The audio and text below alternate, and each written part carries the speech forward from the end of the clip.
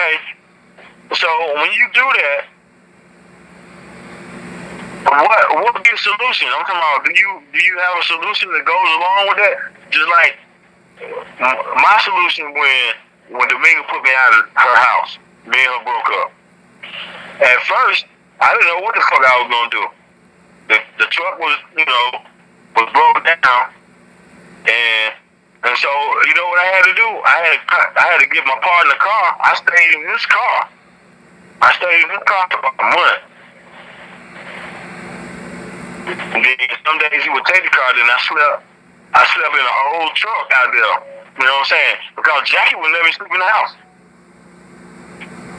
She would, you know, because she would get drunk, and I ain't got nowhere else to go. So all last summer, I was out. I ain't had no job. Uh, the dude, he would let me work like two or three days, and he wouldn't pay me but a little bit of money. You know what I'm saying? Right. I was fucked up. You know what I'm saying? And I ain't know what to do. I ain't know what to do. You know, I almost gave up. Um, I, I was about to the point I was gonna go ask my dad could I move in the garage out there.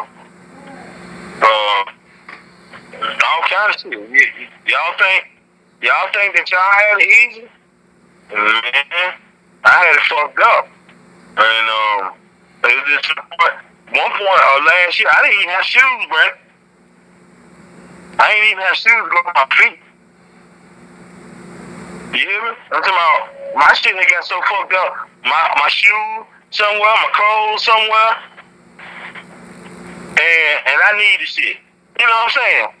And I ain't got none stuff. And the nigga won't even come out there to see me so I get my shit.